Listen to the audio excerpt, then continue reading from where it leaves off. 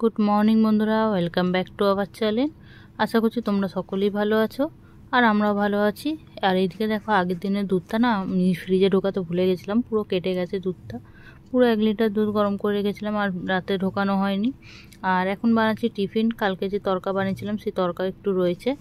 আর সেই তরকা রয়েছে, শুধু তরকা রয়েছে, তরকা খেলে হবে না, ওই জন্য দুটো কটা রুটি করে নিচ্ছি। রুটি বলতে একটু তেল দিয়ে ভেজে নেব। সকালবেলা তার শুধু রুটি খেতে ভালো লাগে না, ওই জন্য একটুখানি তেল দিয়ে ভেজে একটু পরোটা মতো হালকা করে তেল দিয়ে ভেজে করে নেব।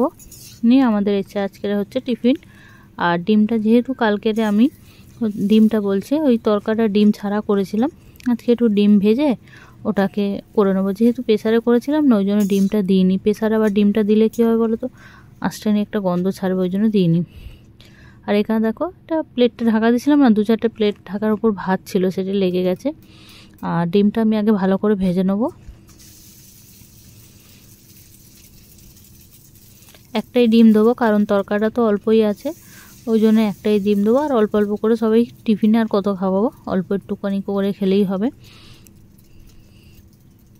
ডিমটাকে একটু নুন দিয়ে ভাজতে হবে, কারণ নইলে আলো আলো লাগবে নুন না দিলে। ডিমটা খুব ভালো করে ভাজা হয়ে গেছে। অল্প তেল দিয়ে ভেজেছি, কারণ তরকাতে তো তেল দিয়ে তরকা করেছিলাম, আবার এটা বেশি হয়ে যাবে, ওই জন্য অল্প করে তেল দিয়ে ভালো করে ভেজে নিয়েছি। আর এর মধ্যে না অল্প একটু জল দিতে হবে, জল দিলে তাহলে একটুখানি এ হবে, শুকনো শুকনো একদম হয়ে গেছে না? একটু তাহলে মাখা মাখা হবে। দেখো, পুরো রেডি হয়ে গেছে ডিম তরকা। আর এই পরোটা আর ডিম তরকা এদের দুটো বাটিতে নিয়ে নিয়েছি, একটা আমরা খাব, একটা ছেলেকে দিয়ে দিলাম। ছেলে এখন পড়তে বসে আমার ঘর দরের সমস্ত কাজ হয়ে গেছে।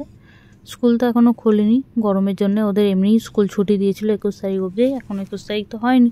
ওই জন্য ওদের স্কুল এখনও পর্যন্ত খোলেনি। দেখা যাক কী হয়, একুশ তারিখে স্কুল খোলে কি না এখনও মানে কোনো নোটিশ পাঠায়নি। স্কুল খোলা, খুলবে যে কনফার্ম যে স্কুল খুলবে, কিন্তু অনেক স্কুল ছুটি পড়ে গেছে না, ওই জন্য ওদের স্কুলে এখনও কোনো নোটিশ দেয়নি। ছুটি থাকলে নিশ্চয়ই নোটিশ দিয়ে দেবে।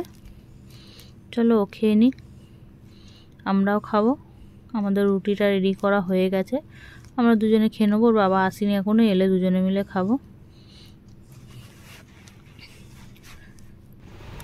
আর খেয়ে দেন, আমি একটু বেরিয়েছিলাম, ব্যাংকের কিছু কাজ ছিল। আর এসে এখানে দেখো, এটা আমের একটা পাল মানে পাওয়া যায় না, ওই একটা ম্যাঙ্গো জুস নিয়েছিলাম, সেটাই করে খাচ্ছি। আর রান্নাবান্না কমপ্লিট হয়ে গেছিল, আমার টিফিন করার আগে রান্নাবান্না কমপ্লিট করে ফেলেছিলাম।